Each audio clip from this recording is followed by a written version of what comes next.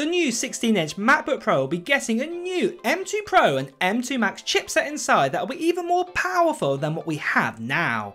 However, when is the M2 Max and the M2 Pro launch day and what other changes could we be seeing in the MacBook Pros? Well, I'm going to go over the latest of everything we know so far, including the 16-inch MacBook Pro release date and price and specs summary. So every MacBook now has an Apple Silicon chipset inside it and the last MacBooks to get this were the brand new 14 and 16 inch MacBook Pros with that M1 Pro and M1 Max chipset inside.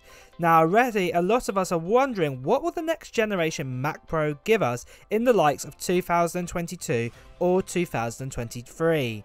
Well, we've now had the introduction of the M2 chipset, and now that's inside the brand new MacBook Pro M2 and also that brand new design MacBook Air with an M2 chipset. However, in this video, I'm going to cover over everything we know so far for the brand new higher spec MacBook Pros that Apple will release in the future. So if you watched some of my videos already, you will know I'm going to give you the latest details on specific reports of info that we've been told, then the details of the planned release date, then a summary of the models that are going to be released with all the features that we have learnt in previous leaks as well. After, I'm going to reveal my wish list for the next generation MacBook Pro. Also, put in the comments below of what features you would love to see in the MacBook Pros and maybe in my next video I will feature your comment and discuss my thoughts around it. So let's get started with the main details of the next generation 16 inch MacBook Pro. So one of the biggest features everyone was looking forward to with the current generation 16-inch MacBook Pro was the chipset inside it and how much power it was going to bring us. The M1 Pro and M1 Max has given us a true generation leap in performance what we had in the likes of say a 16-inch MacBook Pro with an Intel chipset. The CPU performance in both the 10-core M1 Pro and M1 Max is over double of the highest spec Intel i9 chipset in the 16 inch MacBook Pro that came out in 2019. But we're all wondering now, what will the new M2 Pro and the M2 Max give us? Well, we've recently had a report talking about the M2 Max, and it looks like some additional cores are going to be going inside it. So from the CPU side of things, we're going to be getting 12 cores instead of 8. Now, what this basically means is that it's going to be an additional two cores for the M2 Max. We don't actually know if we're going to get two additional cores for the M2 Pro, but most likely what we'll be getting is two efficiency cores and we'll also have a total of 10 performance cores inside the brand new M2 Max and that will give us at least a 20% increase in performance just with these two additional cores. However, like every other chipset manufacturer out there, they improve on their actual architecture and probably most likely with these two additional cores and with Apple tinkering around with the actual chipset as well, we're probably more likely to going to get a boost between 30 to 45% more power than what we have in the current M1 Max. We've also been told for GPU cores in the M2 Max that we're probably going to be getting a few more, so this will probably be 4 to 6 more cores again, but most likely with these extra cores and again Apple tinkering it around, we're probably going to be getting 30 to 45% more graphical power than we currently have. When you think about this, this also makes sense as the normal M2 chipset was near a 20% increase in CPU power and around about a 30% increase in GPU power like what we just saw at WWDC. This is super exciting news to hear as already mentioned the M1 Pro and the M1 Max and basically they are the top notebook chipset out there and yet Apple are still aiming to push them even further. I also want to comment at this stage into the video that all reports and leaks are not 100% proof they will come true with the new MacBooks. Like I have said before in many of my other videos, I can only present to you what has been told and shown. However, if you're watching this video, then you're as curious as I am in knowing what is going to be said about the new MacBooks anyway. So the next question is on the release date. So with Apple's journey complete with equipping every Mac with an Apple Silicon M1 variant chipset inside, apart from the Mac Pro, but that's not likely to get an M1 variant chipset, but we have now started the M2 journey. It is very likely that these chipsets and devices will get replaced in the order or similar order to what they came out in. So I'm talking about an initial M2 first chipset and all the devices to be updated with that, then the M2 Pro and the M2 Max, and then the M2 Ultra. So with this in mind, we have the new M2 MacBook Pro and we also have that brand new design MacBook Air with the M2 chipset. The next Mac to be upgraded with an M2 chipset is the Mac Mini and the iMac before any devices that will get an M2 Pro or the M2 Max. This means that the M2 Pro and the M2 Max will be coming out after all these products getting an M2 chipset. So it's expected that some of these remainder devices to get that M2 chipset will be getting them this fall. This would mean when we'd be getting the M2 Pro and the M2 Max chipsets in the MacBook Pros, it's most likely it will be at the earliest spring 2023 or even at WWDC next summer. However, there is the possibility of seeing the M2 Pro inside the likes say the second generation iMac 24 inch model and also possibly the brand new design Mac Mini. So there is still a very slim possibility that the release of these new MacBooks could come this fall of 2022. But to be honest, it is more likely to be spring or summer 2023. So, just quickly guys, this channel recently got over 350,000 subscribers, what's absolutely amazing. So in celebration of this, I am doing a giveaway right now on this channel for this.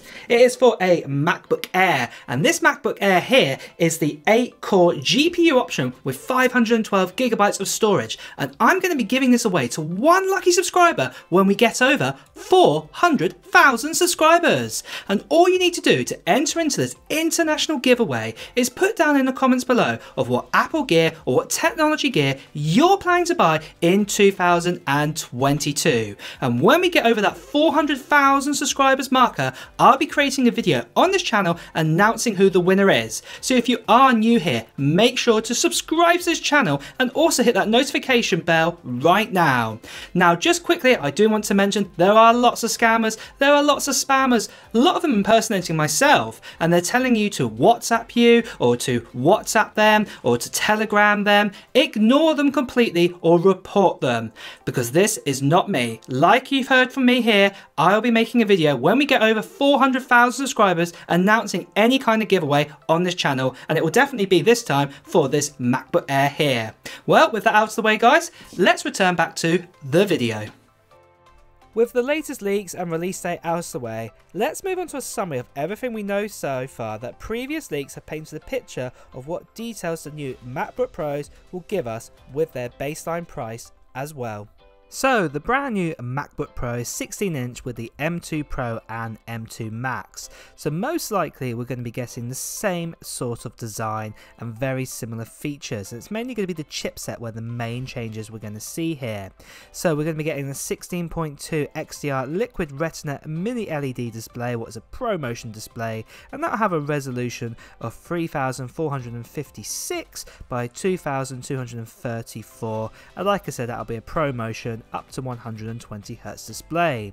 We'll also probably get the same sort of storage configuration, so 512GB all the way up to 8 terabytes of storage in the options available. Then we're probably going to be getting an M2 Pro and also the M2 Max with either a 10 or 12 core CPU and we're probably going to be getting a 16 to 32 core GPU but we may be getting additional few more cores in the M2 Max or the GPU. But then for RAM, we'll be getting the same configuration again of choices. So 16 gigabytes of RAM, definitely for the M2 Pro. And then we'll be getting 32 gigabytes of RAM for either the M2 Pro and the M2 Max. And then 64 gigabytes of RAM option, definitely for the M2 Max. The body will be an aluminium body again. And then we'll be getting the same ports we already have. So this is MagSafe, three USB Thunderbolt 4 ports, HDMI 2.1 and an SD card slot. Then we'll also probably be getting maybe some slight enhancements to the center stage webcam, but this is most likely still going to be a 1080p camera. The actual battery life again on this MacBook Pro will be up to 22 hours as time, and most likely the reason behind this is possibly because Apple will probably be doing more efficiencies with their new generation of the M2 Pro and also the M2 Max, so basically battery life can be prolonged a little bit further.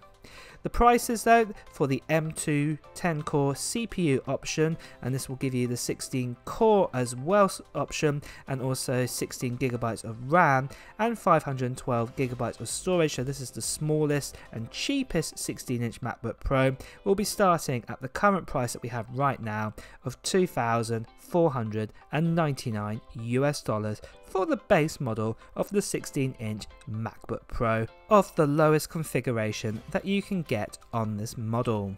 So that is a summary of the new MacBook Pros. However, for my thoughts and wishes, well, my thoughts and wishes are to do with actually the current M1 Pro and M1 Max MacBook Pros.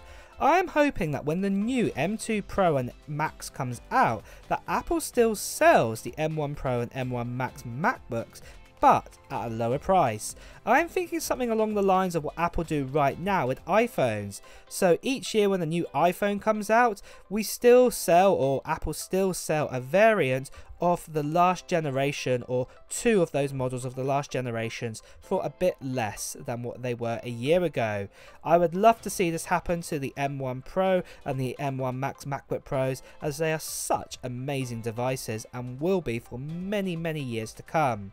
I would hope that the 14 inch base model, for example, would be reduced to say 1,799 US dollars compared to the M2 Pro base model that will be probably about the same at 1,999 US dollars that we pay right now for the current model. Do you think this would be a good idea? Let me know your thoughts in the comments below whether you agree with this or not. And also, let me know what your wishes would be for the new MacBook Pros. Well guys, it's also time to wrap up this video. So if you have enjoyed watching it, please make sure to like the video and also at the same time as well, if you want to hear the latest Apple news, reviews and comparisons, please make sure to hit the subscribe button followed by the notification bell. Until next time guys, I'll see you soon.